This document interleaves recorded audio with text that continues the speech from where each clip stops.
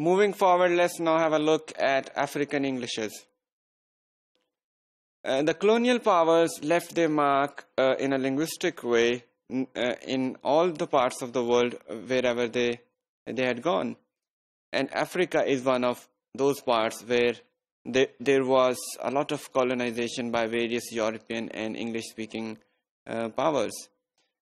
Um, along with French and Portuguese, English uh, still has a continuing presence in various pa parts of Africa. For example, the countries like Nigeria, uh, Kenya, South Africa, Tanzania, and Ghana are uh, those parts of the world where uh, parts of Africa where English still has a very dominant presence. Uh, there could be various syntactic uh, characteristics of the English or its use in various parts of Africa which make it different from other parts of the world. In terms of grammatical and idiomatic innovations, African English is quite rich. Oh, and one of the popular uses in African regions is, is the omission of the function words, for example, articles. Uh, this is somehow, to some extent, is similar to South Asian uh, varieties of English as well. A second type of uh, innovation or variation is the use of uh, generic nouns or pronouns in various conversations.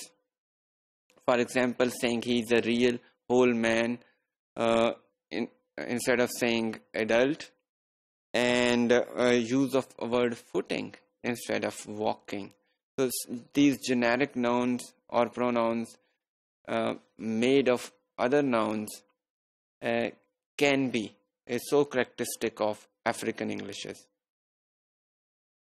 A third type is uh, the making of plurals, especially those words which in inner circle varieties can be seen in in in the form of mass or non-count uh, category of plurals. But in African Englishes, the plural of these words are made by adding s or es. For example, we have seen the word furnitures instead of furniture, the word noises, as well as the word respects. Uh, and expressions like the respects they deserve uh, explains it uh, in a better way.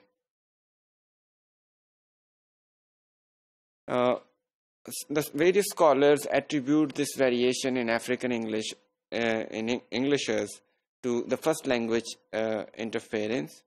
They also argue that this may also be because of the semantic inconsistencies of English language itself and these inconsistencies are available to be examined examined in various parts of the world where English is spoken. Coinage is also an important feature of uh, the Africanization of English language and uh, there is a lot of morpho uh, derivational morphology or the constructions based on derivational morphology which are found in African English. For example, we have the word hard cap instead of hardship. Uh, we have the constructions like he has given nothing coinable and Carnival uh, would reflect here no money. Compounding is also an important feature of African English, same as loan translations and analogical formations. But overall, if, if we have a survey of uh, the English spoken in uh, African regions, we could see that most of these varieties are reduced in these regions uh, to education and broadcasting.